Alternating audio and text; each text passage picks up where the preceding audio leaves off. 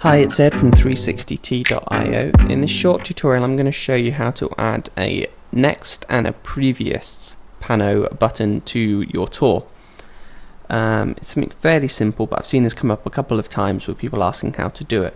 So first off you want to go under the skin tab and click on an icon button. You can of course import a custom image if you've designed one but I'm just going to use one of these that 3DVista have already made for us. So if I come over here, we've got move pano right. So this is one I know that's going to be pointing the right direction. So we'll just choose this one here. We'll click and we'll drop it in. So first thing, I'm just going to make this a tiny bit bigger, just so it stands out a little bit more. So now we need to position it. Now you can obviously just drag and click, but it's often better to actually dial in the actual settings you want. So off the right, I'm going to change percentage to pixels. So I'm say I always want it to be about 10 pixels from the edge. And then from the bottom, I'm always going to say I want it to be about 50%. Also, what you might want to do is add a tooltip just so that people, as they hover over it, they know what it does. So we're just going to put next pano. What you can also do is you can go into edit tooltip and you can change how it looks. You can add a black text.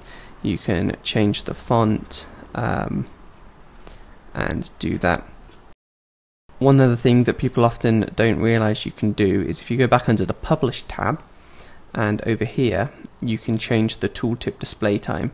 Normally from memory this is at about 0.6 so if I change that back down to about 0.1 it appears fairly instantly.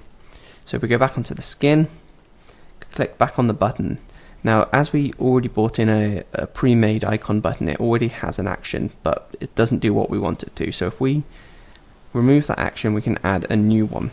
And we want to go down to the list control section. So if we click on that, so on click, um, we want the carousel, because that's where all the panos are, and next media. So that's done. Now I'll just run through and add one to go previous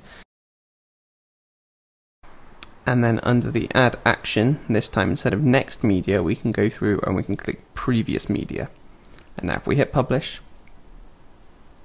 you can see our tour loads up and using this navigation, we can go navigate through our tour just using backwards and forwards buttons. Hope that helps. If you have any questions, please let me know in the comments below.